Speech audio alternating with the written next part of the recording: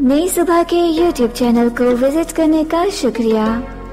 मजीद मालूमती मवाद के लिए सब्सक्राइब कीजिए हमारा YouTube चैनल या विज़िट कीजिए हमारी website www.naisubha.org n a i s u b a h dot o r g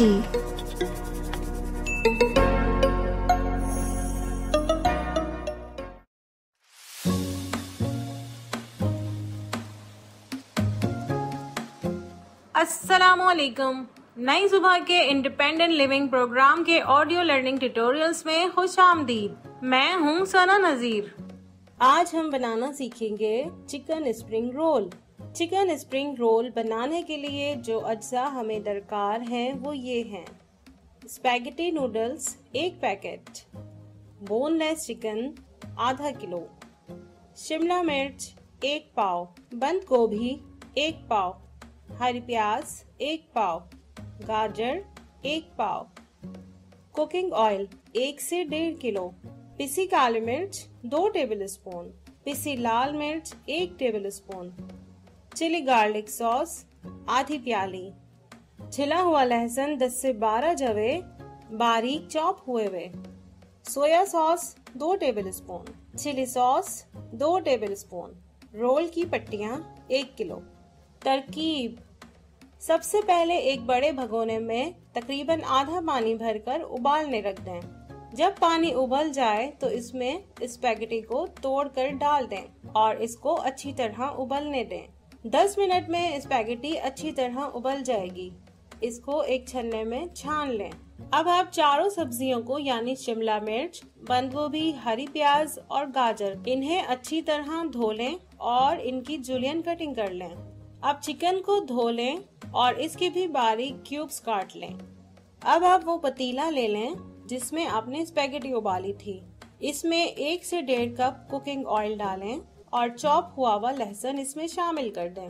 जब आपको लहसुन डालने के बाद इसमें से आवाज़ आना शुरू हो जाए तो इसमें चिकन डाल के भून लें। चिकन भूनने के बाद आप इसके अंदर ही काली मिर्च, लाल मिर्च, chilli garlic sauce soya sauce, chilli sauce और बाकी का मसाला ऐड कर दें और इसे अच्छी तरह भून लें। अब इसमें कटी हुई सब्ज़ियाँ शामिल कर दें और इसे अच्छी तरह भून लें। फिर इसके अंदर उबली हुई स्पैगेटी डाल दें और अच्छी तरह इसे मिक्स कर लें। इसमें नमक हंसपे जायका डालें।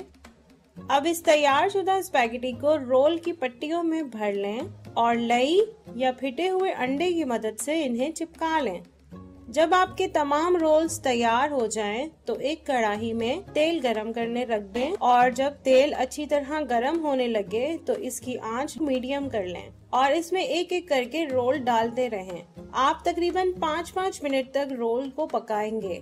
तकरीबन पाँच मिनट के बाद आप रोल की साइड चेंज करेंगे और उसको मजीद पकाएँगे। रोल हल्की आँच पर ही तले जाते हैं। इसके बाद आपने रोल्स को एक एक करके निकाल लेना है। जब तक रोल्स फ्राई हो रहे हों तो आप एक डिश तैयार कर लें जिसपे आप कागज़ या टिश्यू पेपर बिछा लें और फिर दसपने या स्पायरल चमचे की मदद से इन्हें निकाल लें। अब गर्मा गर्म रोल मज़ेदार केचप के साथ तनावुल फरमाएँ।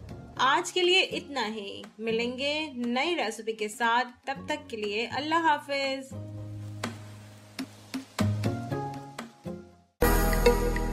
ये मालूमती मवाद नई सुबह की जानब से पेश किया गया। अपनी आरा के इजहार के लिए कमेंट कीजिए या डिस्क्रिप्शन में दिए गए रबते के जराये इस्तेमाल कीजिए।